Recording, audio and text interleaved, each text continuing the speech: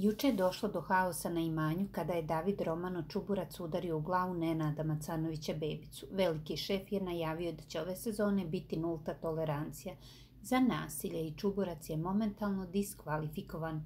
Televizija Pink će od njega na sudu potraživati 50.000 evra.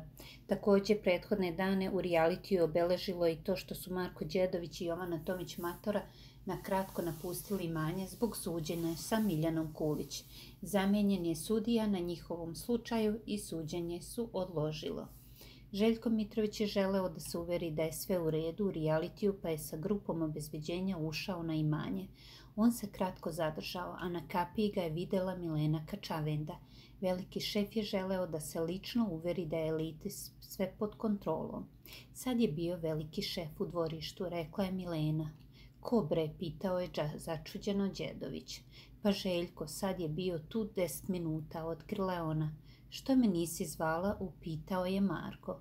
Pa sad je izašao, došao je sa gomilom obezbeđenja, išao je do doka. Prepričavala je Krčavenda.